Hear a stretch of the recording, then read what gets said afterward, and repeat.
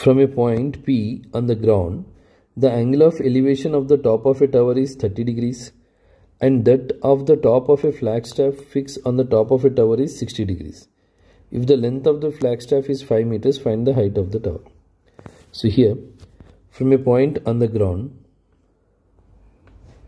from a point P on the ground, the angle of elevation of the tower, here AB is a tower, the angle of elevation of the tower is 30 degrees.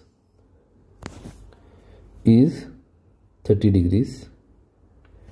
From the same point the angle of elevation of the flagstaff which is fixed on the top of a tower. So here we have a flagstaff BC BC is a flagstaff. The angle of elevation of the flagstaff is 60 degrees. This total is 60 degrees. Now here this angle is 60 degrees. And flagstaff is 5 meters high. This is 5 meters high.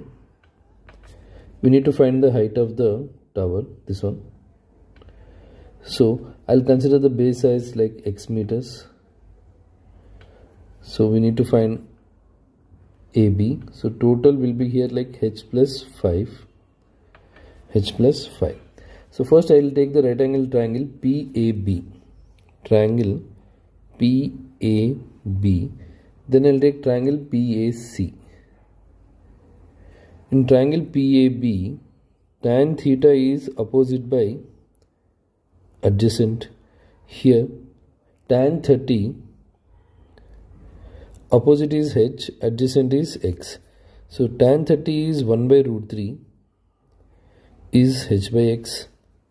So x equals h root 3 now if you take the triangle PAC in this the angle is 60 degrees but opposite will be like h plus 5 now h plus 5 by x adjacent is x. So tan 60 is root 3 h plus 5 by x so root 3 x equals h plus 5 now from here the value of x, this value, I'll substitute over here. So root 3 into h root 3 equals h plus 5. Root 3 into h root 3 is 3h equals h plus 5. 3h minus h equals 5.